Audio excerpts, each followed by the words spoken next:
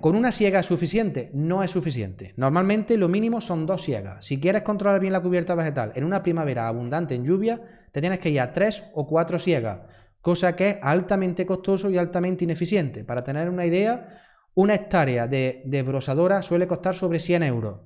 Entonces, 100 euros por 2 son 200, 100 euros por 4 son 400.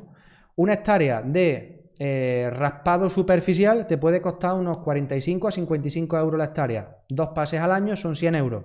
Es decir, estamos hablando de ahorros mínimos de 200 euros por hectárea, de entre 100 y 200 euros por hectárea, que es dinero suficiente para aportar cantidades ingentes de materia orgánica al suelo y conseguir un desarrollo mucho más potente del suelo sin tener pérdida productiva.